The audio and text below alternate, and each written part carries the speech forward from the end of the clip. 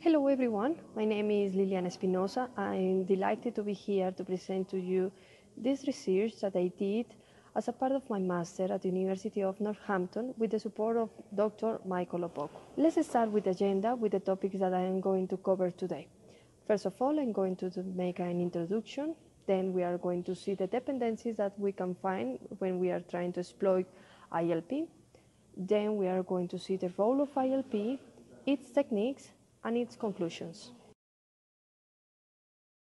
So the first thing that we need to have in mind is that ILP is a number of instructions that can be executed simultaneously in a clock cycle we are talking about a program or a system that we are um, building.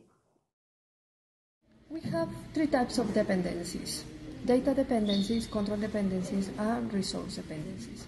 The execution of a process depends on the result of the execution of another process. We need to have that in mind when we are talking about execution and instructions um, executing in parallel.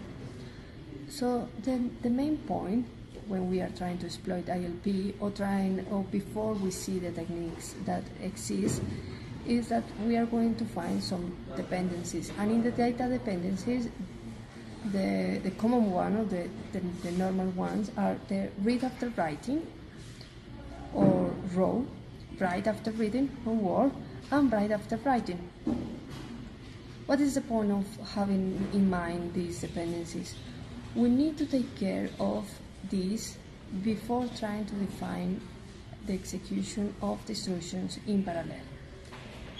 Of those that can be eliminated through renaming are war and WAW, but is one that we call a true dependency and is RAW, read after writing, and we need to take care of this one because we cannot avoid it in any way.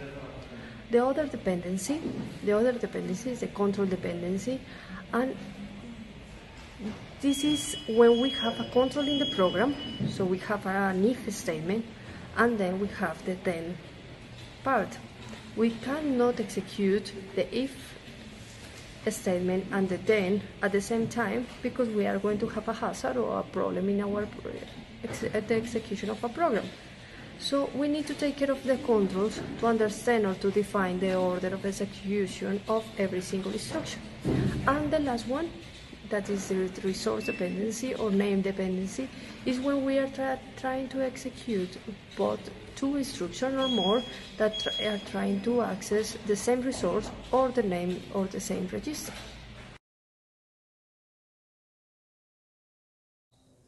So in the plot we can see how the processor have been evolutionating through the time and we are going to see the role of ILP in this evolution.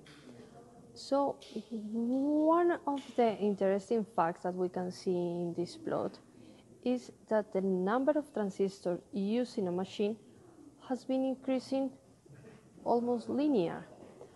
But this also contrasts with the size of the computers of nowadays. So it is very interesting how the speed of the clock and the energy have not increased substantially. So this is this, this has a really strong reason, and it's because we have more speed, we are going to spend more energy. And this in general is not going to be very sustainable. And also, if it were sustainable, it were going to be really expensive. So, because of that, we see that plateau in that in the power and in the frequency of the processors nowadays. So, what are the techniques of exploiting ILP?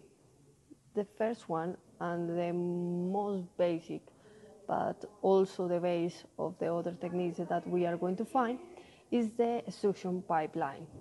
This is the most basic technique to exploit ILP, as we can see in the presentation. In pipeline, several instructions are executed in several stages in the processor without each one to overlap. So how we can find this? Generally, we are going to find four stages, the fetch one, the decode one, the execute one, and the write one. So how we can find or exploit execution in parallel? So every single instruction is going to be in one of the stages, one per cycle clock. So in, the, in a dynamic planning, the hardware can increase the ILP by rearranging the instruction and runtime in the following way. So the instructions that are independent can be executed simultaneously, but that instructions that need another uh, instruction to be executed need to wait in a queue. So even when the the meaning the base of this technique is very basic, it is also very powerful because in runtime we can move the execution or we can reorder the execution of instructions. Other technique that we found as very reliable and that can improve the performance in certain way is the very long instruction word compiler. So this is responsible for starting the instruction package for multiple multiple concurrent package for multiple concurrent problems without hardware, hard, hardware interference. So when we have like one long, long, long instruction that is concatenate and is ordered in a static way, but we can define when we have dependencies or not, we can use the very long instruction word. There are many variations of this scheme in processors, modern superscalars. However, the key concept of tracking and processing dependencies in instructions to allow execution as soon as, as, soon as operands are available and renaming records to eliminate WAW and WAR dependencies are common characteristics.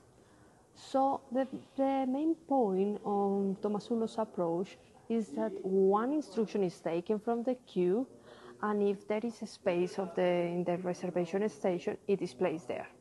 If the operands are in the record bank, they are sent to a reservation station and the instruction can be executed.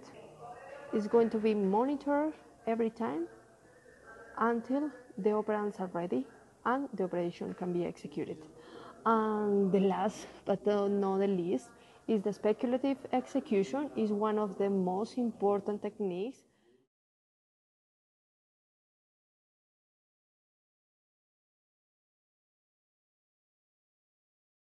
that instructions that are executed without knowing if they are going to be required or not.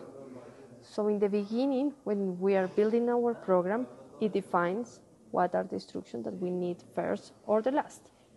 So they are going to execute all the instruction in one go, and even when this can sound that it's going to crash the performance, in reality, when they did this in the beginning, you're not going to do it again.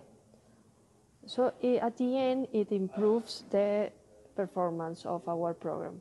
With this technique, in practice, the performance is greatly increased and latency is minimized, generating this mode a greater parallelism.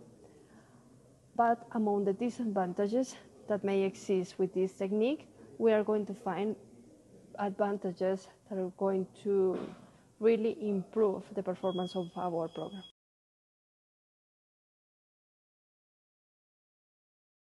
These are the conclusions of my research.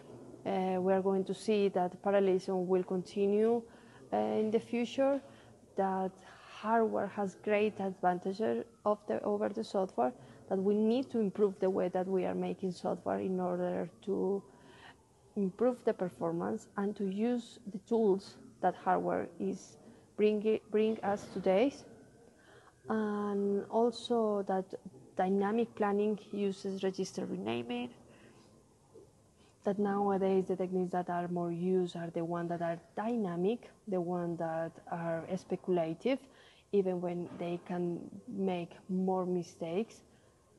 We are seeing that in the results at the end, we are seeing greater improvements in the performance. And um, that speculation, as the word says, is when we make ex- we execute we can execute instruction out of order.